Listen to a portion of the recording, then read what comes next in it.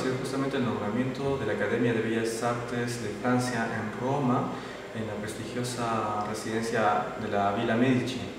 Eh, acojo con, realmente con mucho orgullo esta, este nombramiento, que va a significar eh, vivir un año en Roma, en este lugar donde pasaron eh, compositores de mucha importancia, como Claude Debussy, Berlioz o Bizet, entre muchos otros.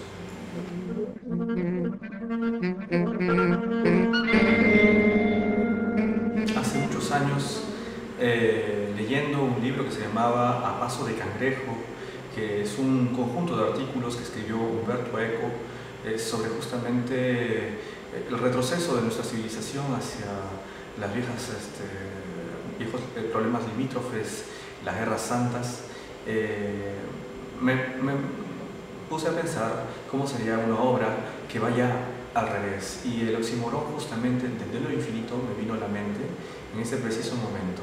Es decir, nosotros podemos de repente imaginarnos ir al infinito, pero venir del infinito es una contradicción que, y, que me interesó mucho poner la música como una paradoja sonora.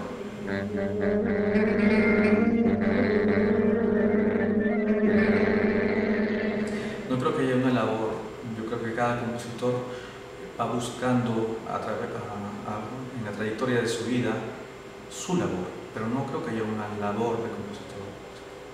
Se hace música, se crea música.